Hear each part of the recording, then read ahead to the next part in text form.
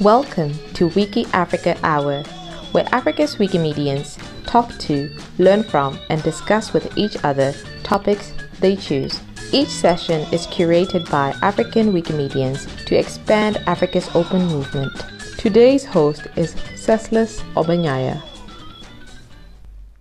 Hello, friends of the Open Movement. I'm delighted to welcome you all to episode 16 of Wiki Africa Hour, titled Wiki Identity. I'm Ceslas Obanyaya, your host. This episode explores how the Wikimedia projects are easily identified across the different platforms and media. Why are these identities and brands important? And why is it important that we can identify them as Wikimedia? But first, we should define what a brand or what identity is. Wiktionary defines a brand as a symbolic identity represented by a name and or a logo which indicates a certain product or the service to the public. It further states that a brand is the public image or reputation and recognized typical style of an individual or group. In a world that keeps evolving digitally, graphic and sound logos and other forms of brand identity have become an essential component that helps the public to identify a trusted source and deliver on its expectations. As new consumption platforms such as Alexa and Siri become commonplace, new ways identifying brands needs to be explored. Both for profit and non-profits alike must swim this tide of digital branding in order to own and retain their respective niches and spaces or risk going extinct. The Wikimedia Foundation's projects, Wikipedia, Wikiquote, Wikidata, etc., all have visual identities, logos, brand colors, fonts, and the whole embodiment of designs on their respective sites. Some of the identities have undergone modifications over the years. Now the movement is discussing the need for a sound logo, the first of its kind in the Wikimedia movement. Today we have invited experts from the Wikimedia ecosystem to help us understand the different brand identities being represented by various Wikimedia projects and how they have changed over time and what we can look forward to in the future. First, we have Erina Mukuta. Erina is a Wikimedian and co-founder of Wikimedia Community User Group Uganda. She lives in Uganda and has been part of several projects to increase content and knowledge sharing. She has worked with several communities in Uganda, example schools, organizations, and other Wikimedia chapters, etc. She is currently the Wikimedia Sound Logo Project Community Liaison. And then we have Zack McCune. Zack began editing Wikipedia in 2005 and attended his first Wikimedia event at the British Museum in 2011.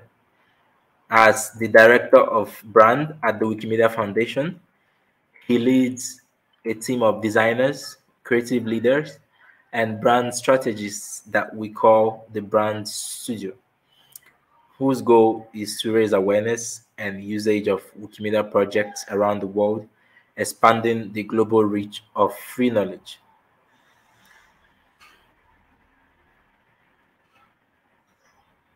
Hello, Zack. We will be start, starting with you first uh, on the first panel.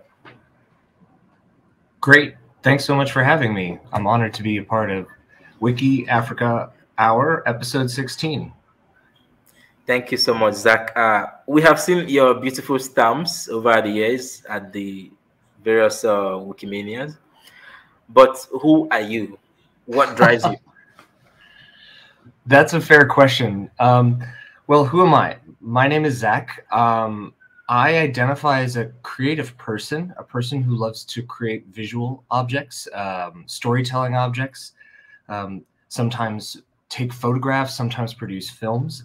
And indeed, yes, I, I enjoy making stamps. I have a few here that I made for uh, Wikimania in South Africa. This is for Wikimania in Sweden.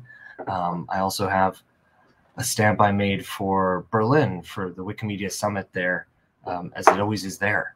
Um, fundamentally, I believe that creativity can be done collectively, uh, not just individually. And that means that we are all more creative together. Um, that's brought me to really love the Wikimedia movement. Um, I've been working at the foundation now for a, a, stunning, surprising seven years. And in that time, I've done all sorts of collective creative exercises from making uh, ads to explain what Wikipedia is in Nigeria, Iraq, India, Mexico, um, to creating identities for our events like Wikimania.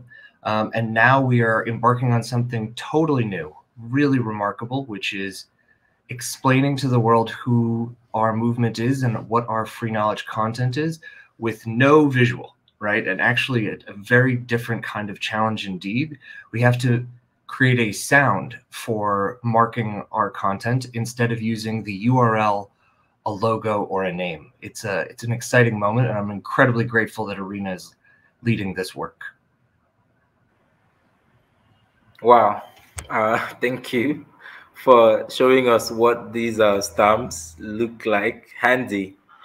And then, I mean, stamps, logos, designs.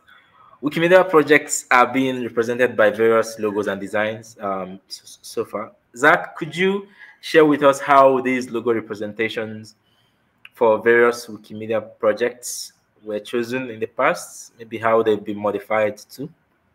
Yes, I would love to do that. Okay, let me let me share some slides here to give you uh, a history of Wikimedia identities. Um, you know, it's a lot of joy to share these with you because I see my role as director of brand as stewarding wiki brands, um, but not creating them. Right, like they are created by the movement, uh, and then they are stewarded by the brand studio let's take as an example the Wikipedia brand.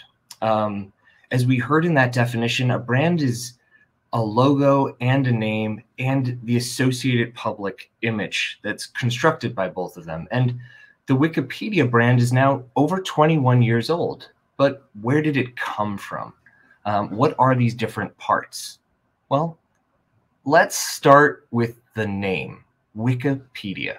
Um, it's two different things fused together wiki and pedia uh, the second part is probably the more familiar to people because it derives from encyclopedia which is a, a greek word for general education and it came to be embodied in a series of objects like long sets of books or even CD-ROM editions of collective knowledge. Um, Wikipedia, of course, is a revolution on that type of format, offering general education online uh, across millions of entries. And it's something that we know people are using every day, all the time, and keeping it up to date with 350 edits a minute. It's just one of the most remarkable things happening in the digital world. So, Wiki where does that come from? Uh, these four letters are now part of almost every movement brand we have. Um, but it actually comes from Hawaiian, um, of all places, and it means quick.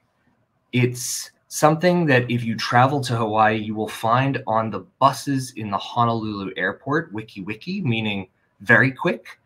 And it was selected by Ward Cunningham, a, a software a software designer, to describe the software he was creating where people could quickly edit and change things collectively. It wasn't a way to publish things on the internet uh, one at a time, but to actually quickly be able to ed- edit and update it. So, wiki software is where we derive the name Wikipedia. Um, so, together, that's where we've come to as far as a name. But the logo, okay, the logo, this thing we sometimes call the puzzle globe, where did that come from? Well, we had a contest. The Wikimedia movement had a contest back in 2003. Here are some of the entries for that contest. Um, and this contest was an open call. What should uh, the logo for this project be? Um, and there were over 150 responses from around the world. This was the winner. This was the winner here. And you can see the user who created this amazing tradition. Uh, it was a open call for submissions and then a vote, right? And this has been true to how the Wikimedia movement has been making uh, logos and coming up with project names since the beginning. But that wasn't the end. It actually evolved from that place on to be what we have today actually single glyphs on each tile uh, and with a silver color. Um, and that is again further refined in today to be flatter, easier to shrink down in size. You know, we're always evolving our brands to make sure they work for where people are using them.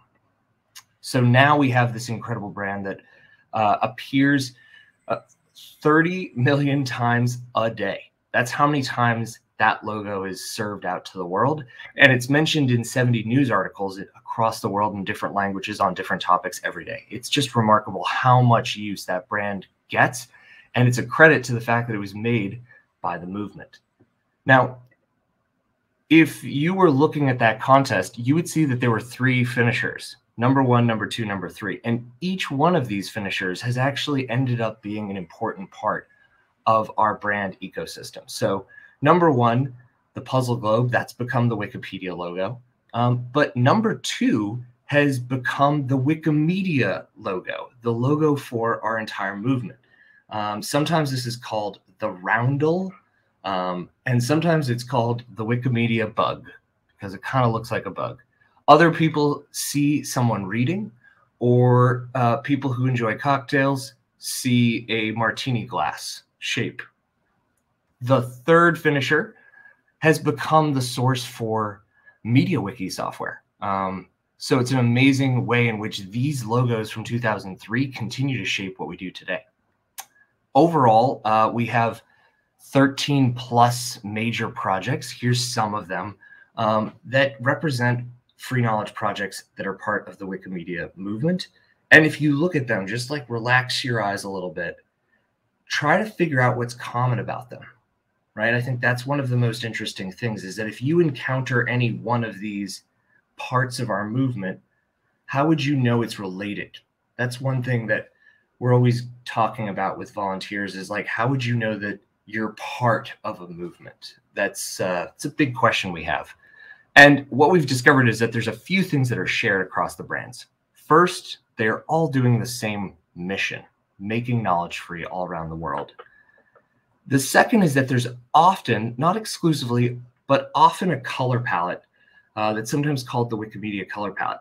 Three colors green, blue, red. And these actually derive out of the software. Um, a blue comes from our links in our projects. When you click on a link that works, it's blue. When you click on a link that doesn't work, it's red. Uh, and there used to be green links, but that's some deep history that you can find out about. Uh, and finally, open question to everyone. Think about for a moment. What is the thing that is shared across all of our movement names? It's four letters Everybody knows it. In fact, the public use it as a nickname for us all the time. It's Wiki. Uh, it's even used here in Wiki Africa Hour. Uh, so Wiki is something that we found that 92% of internet users associate with Wikipedia and the Wikimedia movement. It's something that we're continuing to expand and using, and I always love when it's used as the beginning of names.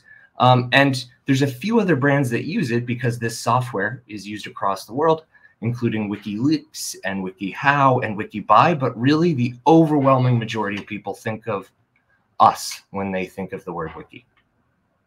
I think that's uh, a place where I can leave it as we start to think about the next thing we're going to make from scratch, which is a sound logo. We have no sound logo now, but we need one. Let me leave it there. The rundown, seeing how you know the contest led to the very first uh, Wikipedia logo. User Paulus Magnus, you are a legend for coming up with that.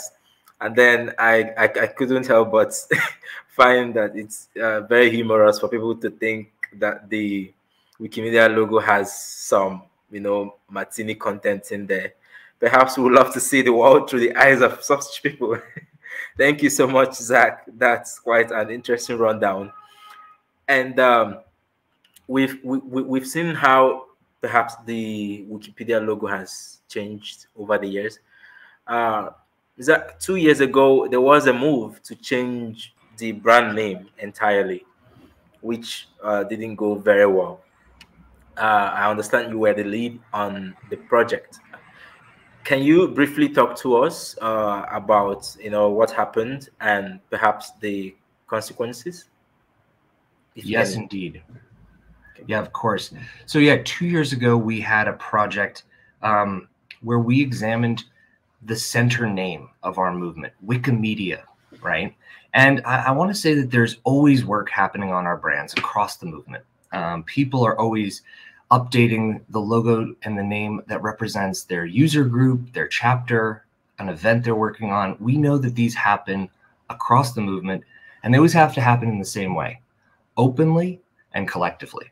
So when we were examining if the movement name should change, if it should actually be centered on Wikipedia, which is better known than Wikimedia, we brought this suggestion, this proposal out to movement volunteers, and we heard very strongly back, no, do not change this. Um, and the evolutions from that no, that that clear answer, do not change this, uh, not only have stopped any work on that kind of a change uh, and pushing us to celebrate and adopt that we're going to continue to be the Wikimedia movement. That's what we're going to emphasize. And we're going to continue to emphasize uh, that roundel shape as something we want the world to recognize more. We actually want to promote that more so people recognize that and think, when I see that, I think of knowledge and I think of free knowledge. Um, but it's also changed how we approach some of these collective processes, right? We want to actually make sure that we're socializing the problem for a brand issue before we get to solutions. So we have a lot of time to discuss collectively across the movement a problem we're trying to solve before we jump to here's a solution. And that's the way in which for the sound logo project, you can see that you know our consultations on this began um, actually almost a year ago a little uh, about November, we started talking to people and saying, we're starting to realize that 27% of the internet is getting knowledge from a voice assistant. And uh, Wikimedia is not really well attributed there. It's not credited well, right? What do you think we should do, right? And we started to have those discussions again almost a year ago. Um, and some of the answers that came back have shaped exactly what we're doing now, which is having an open call for ideas for marking ourselves in audio environments. Um, so the way we see it is that work always has to happen openly. It has to happen collectively, and, and that's what we're trying to do right now with the Sound Logo project. Interesting. I can't help but appreciate the constant, which is being open and you know adding a bit fun around it by making it a contest. And that way we also make sure that only the best of the best get to be selected. Thank you so much zack. Um, director of brand that's quite a huge role if you ask me uh, heading up the wikimedia brand it must be a fascinating but yet challenging task how did you land in this role zack it is the honor of my life to uh, work in this role. Um, my background is in sociology um, and digital marketing.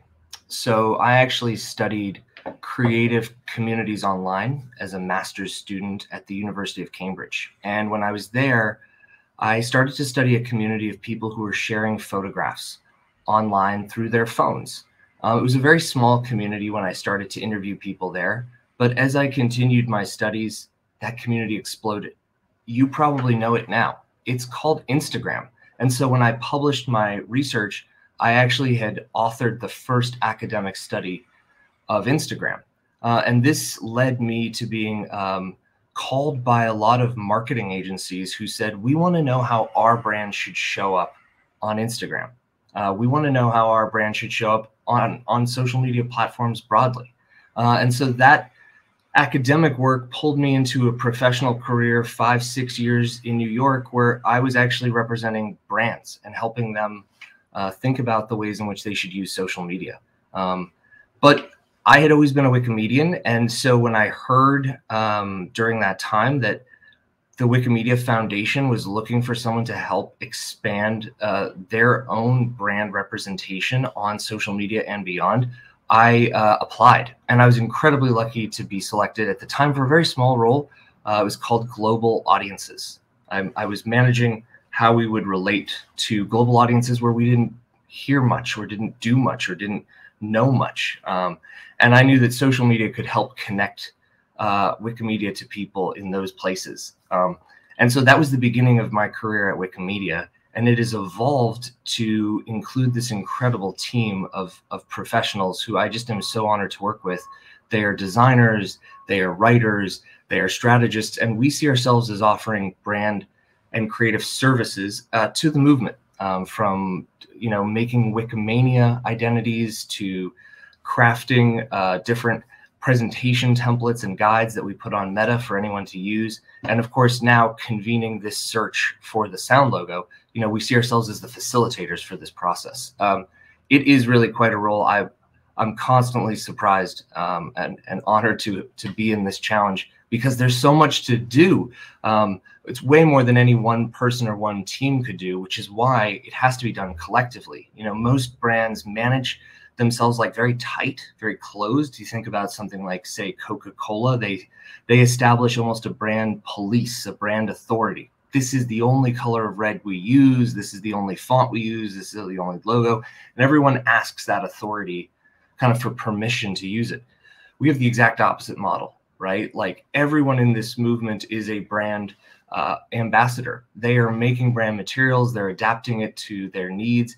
And we see ourselves as a resource that can help those people, but we're not the control. We are a, uh, a decentralized movement on branding. And so we offer a series of resources people can use, modify, and extend and share back to MetaWiki in common so other people can use it too.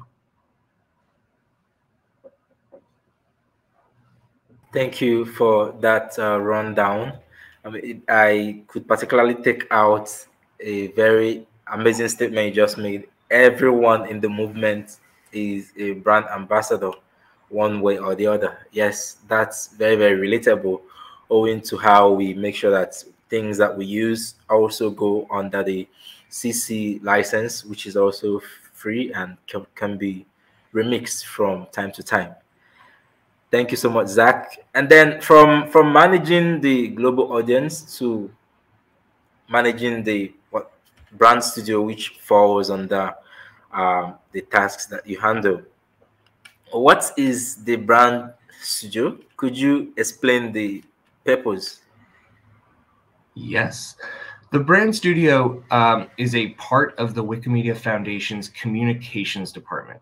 And we focus on communications work that needs uh, creative development, which is often visual design, uh, copywriting.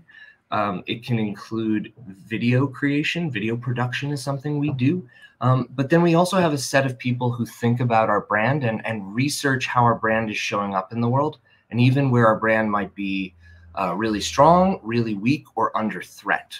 Um, I'll, I'll, say here that one of the things that our, our brand uh, staff recently did was looked at how popular Wikipedia is in Russia. Um, now we all know there's so much happening that's incredibly sad in in the Russian-Ukraine war. Um, this this conflict that has erupted, and because of this conflict and, and reporting on this conflict, you know we've actually received multiple threats um, by the Russian government to block the site's access to Russian internet users. Um, you know, when that kind of threat happens, there's a lot of parts of the Wikimedia movement that respond. And in the Wikimedia Foundation, our legal team are incredibly active in, in looking at that threat, as well as the engineering teams who think about what would that block mean? How would people continue to access our servers? Um, on the brand side, we look at how is Wikipedia viewed? You know, how how well established is it? Do people think of it as a Western service? Do they think of it as something made by Russian people for Russian people? Um, and what we found in doing some brand research was that actually the Wikipedia brand is possibly the most popular in uh, in Russia. It's more popular in Russia basically than every other market we routinely measure, which is Germany, the UK, Nigeria, India, Mexico, Brazil. We do a number of diagnostics twice a year, and we found that the Russian internet user actually feels the most care about Wikipedia. And it's one of the reasons why we think uh, the government has hesitated.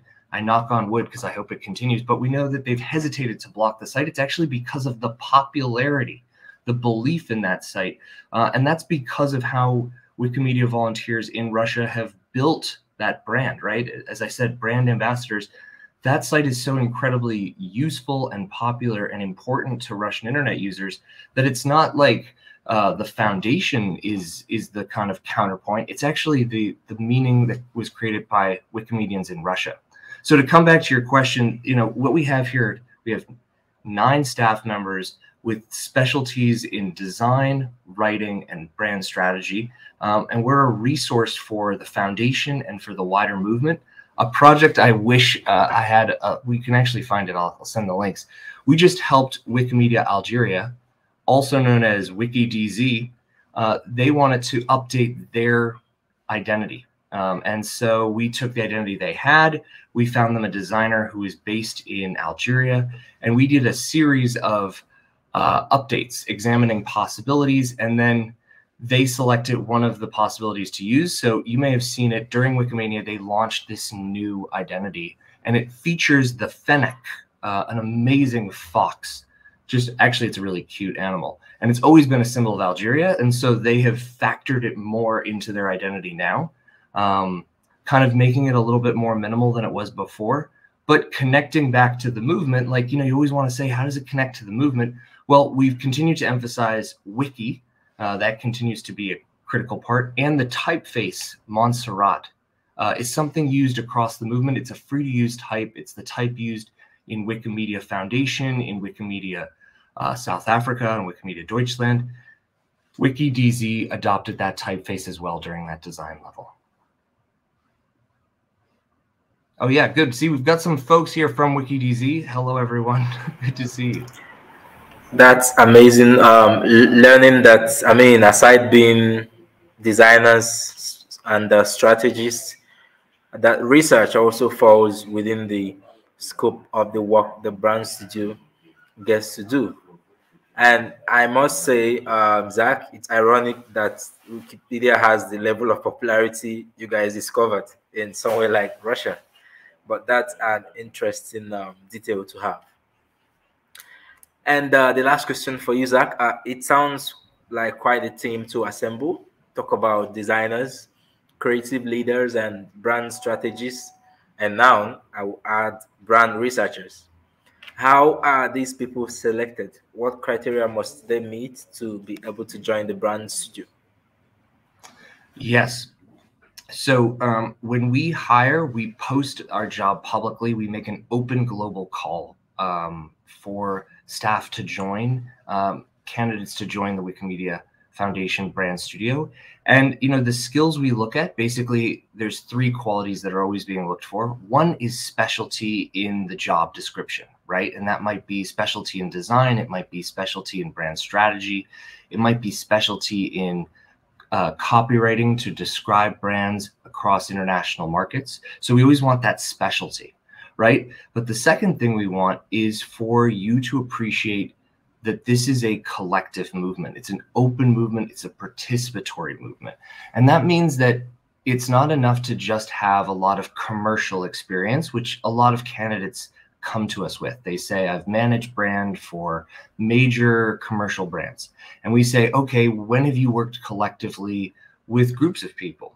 When have you done a project in the public? When have you not shared work back to a single client, but actually shared work back to lots of groups and said, What do you all collectively think about it? How can it be better? We always want to have that experience. Um, and then, of course, the third quality is if you have experience with Wikimedia itself, that's a huge perk. You know, we want to know that people have uh, been readers, users, uh, beneficiaries of Wikipedia. They're familiar with where we stand in the world. But even better, uh, if they've contributed as an editor, a photographer, uh, a volunteer to the Wikimedia movements, that's an amazing feature. So those are the things we always are looking for when we do a job search. Um, and I'll tell you, we do that same, we have that same approach to when we hire uh, contractors or agencies because we're incredibly lucky to work with creative houses, production specialists around the world. You know, the staff we have cannot be experienced enough to make an authentic uh, message to the places we work. So when we do uh, an, an ad campaign and develop a video, in Iraq, we need a specialist, somebody there who's either an individual or an agency that knows that market well. But again, always appreciates that we're not like other brands, right? Like they have to think of their work as happening openly and collectively, where feedback comes from everybody to make it better. Nice. Of course, anybody who is uh, going to work within the open movement has to be open himself or herself. Yes, it's a very strong feature when it comes to selecting somebody who perhaps should be on a team such as the brand team. Thank you so much, uh, Zack McCune. You have provided quite um, an insight by responding to these questions. Uh, we are looking forward to perhaps someone having questions from the audience for you during the Q&A segment of the episode.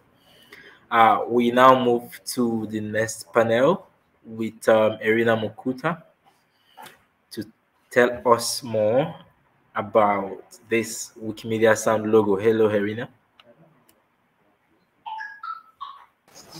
Hi, how are you? I'm fine, thank you. Please briefly introduce yourself, Erina.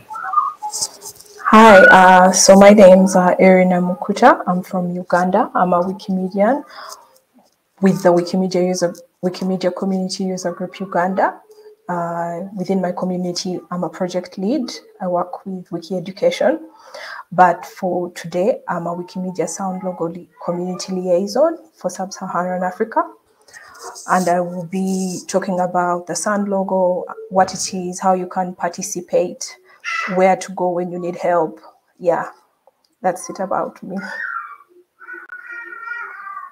You know, uh, Erina, this project aimed at finding a unique um, sonic logo for Wikimedia projects. Uh, for the benefit of the audience, uh, please first explain what a sound logo is, and do you have examples you can show us? Yeah, um, let me share my screen. Okay. okay. Are we able to see the screen? Okay. So what is a sound logo? A sound logo is a brief collection of sounds. These are usually between one to four seconds.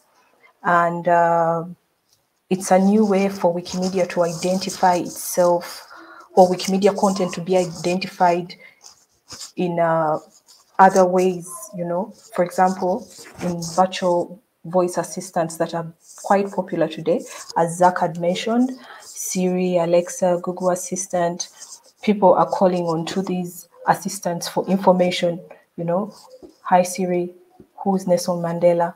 And even if this content is picked from Wikipedia, it's not identified as such. It's read off the page, but the consumer may not know that this is content, this is Wikimedia content. So we're looking at a sound logo that can identify us in that world, in the virtual world. So that's pretty much what a sound logo is. You will be able to listen to it after I talk more about it. Yeah, the Wikimedia logo that we're talking about or we're hoping to develop should represent what our movement is all about. The, the sound logo should feel human, inspired, and warm. Yeah, it should also have a global feel. It shouldn't be particular to a culture or to a language or a style. It should have a global feel. I know Zack mentioned how previously the visual logo was the community was called upon, the whole global scene was called upon to submit, you know, and it submitted something that everyone could relate One to. moment. And it submitted everything, it submitted something that everyone could relate to. It should also comprise of multiple layers, textures, or sounds. So maybe if uh, I'll just make an example, if I'm if there's someone snapping their finger and someone is banging, yeah. So those are two layers of sounds. But of course, I'm not saying use that, but yeah, it should be have some layers, some textures to it. Um, the entry should be one to four seconds. As I've mentioned, a sound logo should be one to four seconds, and it should be an original sound or CC by zero or public domain. Yeah. Uh, if you want to participate in it, it helps to have some. There are many ways to capture and produce and combine sounds. Uh, what sound would bring a smile to your face when you hear it, or when you read out, or when something is read out from a voice assistant.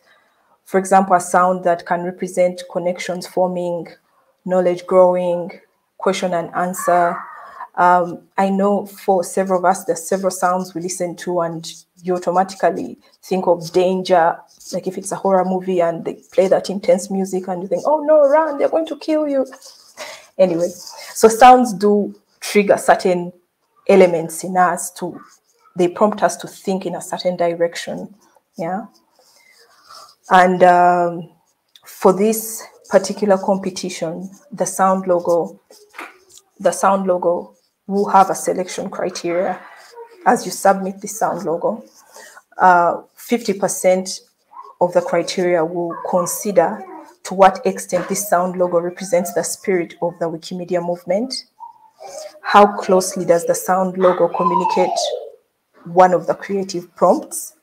To what extent does it feel human, inspired, smart, and warm? Also, 25% of the criteria would be originality. To what extent does the sound logo feel original and unique? Or how much does it stand out compared to the other sound logos submitted? Then 25% potential for a strong brand recall. How easily do you feel you could recall that sound logo? You know, some of those songs that just stick in your head. Or, for example, uh, there, I think there are certain sound logos we've had, and we'll be able to listen to some of these after this. That the moment you hear, you know, oh, that's that, like that sound, you associate it to something. How easily do you feel you'll be able to replicate, sing, hum, tap that sound logo?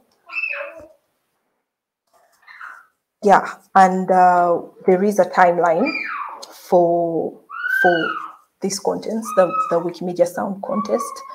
It's um, it's a truly global and inclusive context, so it's going to take time. As uh, Zack had mentioned, the discussions did start last year, and uh, if you didn't attend WikiIndaba, there were community discussions taking place. So submissions started on 13th September, and they will go up to mid-October. And as you send, there's a screening team that is going through these submissions, making sure you adhere to the criteria that were set. Yeah. Is this submission one to four seconds? Does it represent, is it spam? You know, so there's a screening team that's going through all the submissions. And then uh, after that is done, there will be review whereby that same selection committee will take us from the then submissions at that point to the top 40, top 20, then top 10. It's these top 10 that we are then going to vote upon, almost like how the the visual the visual logo contest happened. There was voting. It was inclusive. And this will be tentatively in November, but the dates will be communicated. There will be also a legal review. Due diligence will be done, checking of copyright, and there will be a winner announced early in 2023. There will be a prize, of course, and uh, the winner will receive 2,500 US dollars and a trip to record with MassiveMusic. Yeah. That's just a brief summary. A brief summary of what the sound logo is and what the sound logo contest is. Thank you, Erina, but I refuse to agree that that was a brief summary. That was the whole nine yards. the, the African in me couldn't resist. okay, I would like to let you know that you've, of course, um, gotten ahead of some questions we would have loved to ask. So, that being said, I will just uh, skip some of the questions you've by default answered. Uh, Erina, please, would like to know where, I mean, what brought about this Wikimedia Sound logo concept? How did it come about? Okay, so the Wikimedia Sound logo concept, as um, Zack had introduced it, uh, it's something that we know people are using voice now for for knowledge for search for for for audio searches uh, people's homes are, are automated you have alexa running everything and it's just a matter of voice. And uh, i think through this then there were community discussions as what should happen. And the proposal was the sound logo. And then it was followed by a community discussion. And uh, it has then led us to this point where it then became a project. And uh, now this contest is running okay um thank you for that uh, brief rundown though yes you're right zack had mentioned that earlier and lastly um for you Erina, uh, once the winning sound logo is selected how would the third parties navigate around the free license? Would they be required to use the sound logo under our open CC license requirements and fair use? Please explain these aspects in case we are getting on smart TV like Netflix and other smart devices anytime soon. Okay. Uh, so, like any other CC licensed work, any reuser would have two choices. Either use the sound under the CC license and follow all of the attribution rules, or use the sound with a license from the sound owner, that would be the foundation. This is the same way that the visual logos would work or visual logos already work. But it's also useful to separate copyright of the logo and trademark of the logo. Since the sound logo is being used as a trademark, so also the trademark law applies. Any user that wants to use the sound logos copyright only, you want to put it in a song or you want to put it in your presentation or something, you would be free to do so under the Creative Commons license. But if you want to use the sound to suggest an official connection to or a, commission, or com a commercial endorsement, you would need direct permission from the foundation. Thank you. Thank you so much, um, Erina, for explaining that and then sharing more details about the Wikimedia Sound logo and the contest. Uh, perhaps uh, I myself, in, in particular, I'm looking forward to hearing what the Sonic logo would sound like when it's selected. And hopefully, there will be a question uh, from the audience, but that being said, we now move to the Q&A segment. We had pre-collected some community questions in advance. So we'll just have uh, you and Zack answer to the questions. Uh, Zack, the, the first question is for you. Uh, some are of the opinion that the various wiki interfaces uh, they look outdated and haven't evolved uh, with time. Uh, Zack, does this fall under your jurisdiction, and what do you have to say if it does? This falls under product um, jurisdiction within the communications, uh, uh, excuse me, within the Wikimedia Foundation's uh, structure. They actually lead the graphic interface work, um, but it is something that I care a lot about because our interface is one of the most important elements we have as a brand. It, it's not a logo or a name, but it communicates a sense of usability, uh, a sense of purpose, a sense of are we fast moving or slow moving? Are we useful? Are we easy for people to navigate and find what they need? Um, so it's something that the brand studio collaborates with the product design group on. Um, and you know, this is a good time to to call out a few things that I know are happening both within the product design group now and in movement uh, conversations. One, uh, there's a project called Desktop Refresh, which on desktop interfaces um, is actually exploring this very question. Should the interfaces um, change? Should they simplify? Should they become easier to use? There's a series of ideas out there from the product design group, and you can find them by searching Desktop Refresh on um, MetaWiki. The other thing that's happening is there's some discussion now about the vector, uh, the vector skin. Um, I think there's a request for comment going on right now. Um, so those are some places in which the discussions about how much we change the interface should happen.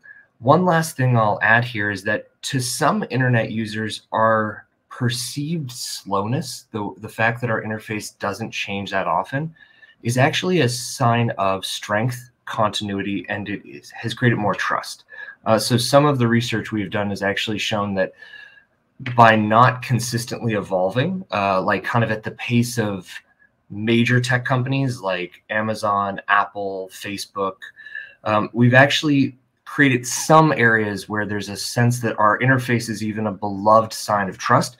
But that doesn't mean that change can't happen, right? You know, it's like we know that if you look at a desktop view of a wiki site, the left column uh, or the right column, depending on the language you're reading in, has actually dozens of links that people are not using. So there's always room to improve while we keep things somewhat consistent. We always want to make sure we're testing. I recommend checking out the desktop refresh project on MetaWiki. You'll learn a little bit more about how product design is putting that forward.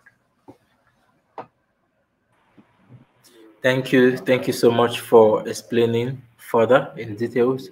And then the next question for you, Zack. A brand has to constantly evolve to remain relevant. How do you think a sound logo will add to the Wikimedia's already complex brand ecosystem? These are good questions. These are tough questions.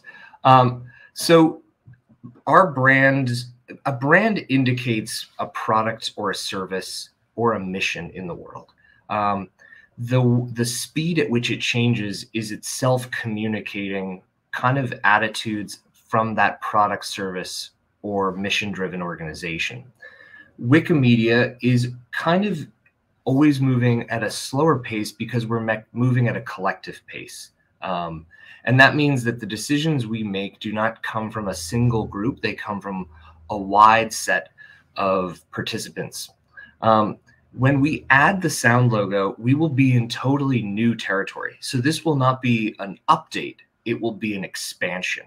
Uh, and I actually think we're looking ahead over the next probably three to six years at a few areas where we need to expand.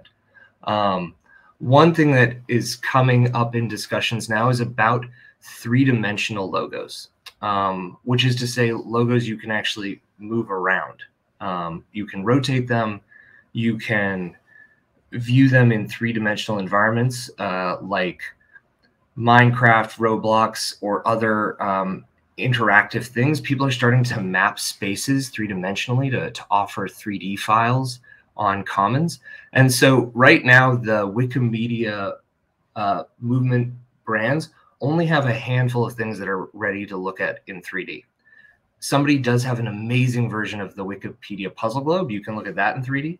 Um, but the other projects are still very flat. You have to look at them in two dimensions. So 3D logos, I think, will be something we'll start looking at next as a group. And that will be a really fun project again as we think about this collectively and probably evolve these things uh, openly through through additional contests.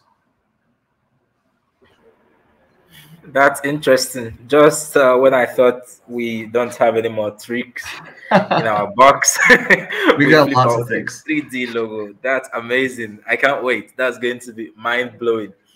Thank you for hinting us on this, Zack. We can't wait to see this uh, come to light.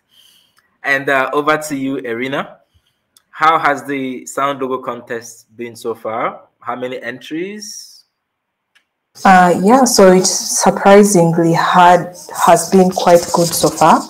We have had 699 submissions in just almost just the first week or so from 96 countries.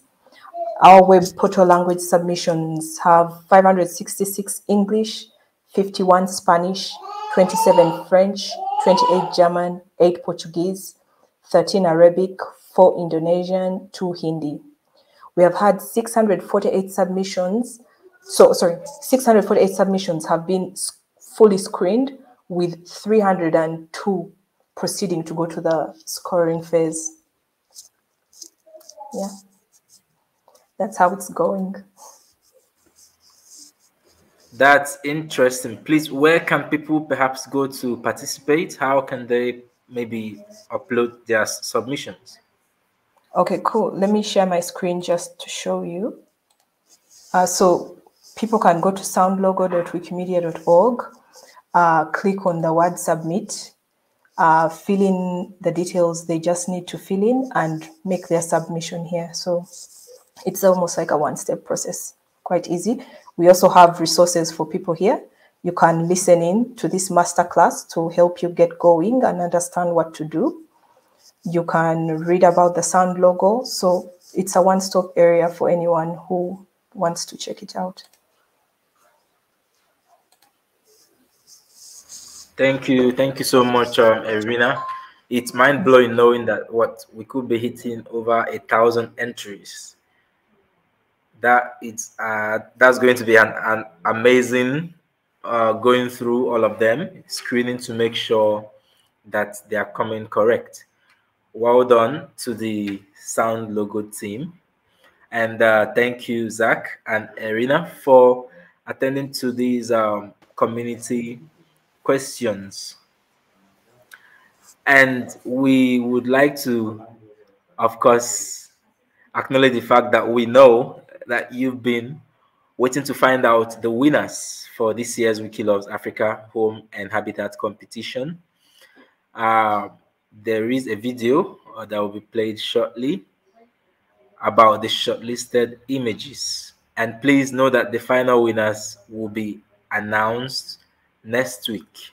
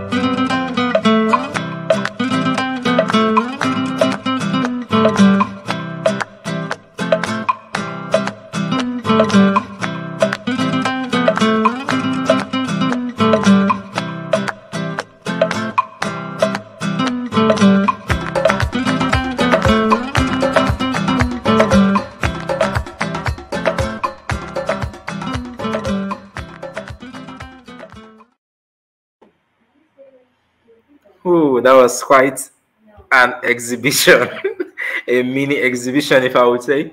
We look forward to, of course, having the winners announced. Beautiful images, I must uh, say. And we now move forward to giving the news update we have for this episode. And with me to announce the news updates today is Afek Ben Shahid. Hello, Afek. Hi, Ceslause. Thank you for agreeing to do this with me. First, the call for proposals and scholarships for 2022 WikiIndaba Conference is ongoing. The theme for this year's conference is Advancing Africa's Agenda in the Implementation of the 2030 Movement Strategy. Scholarship application closes on 23rd September, while session proposals are welcome till 1st October. The Wikimedia Sound logo contest is still on until 20th October. Please participate. You meant to say 10th, Afek? Sorry? 10th October, right? Yeah, I said until 10th October. Okay, thank you.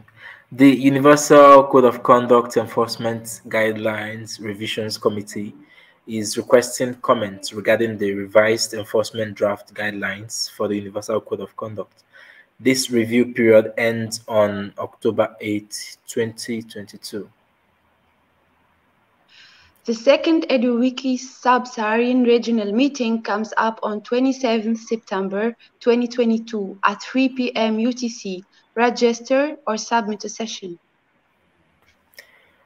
Wikimedia is once again participating in the winter edition of this year's Outreachy from December 2022 to March 2023.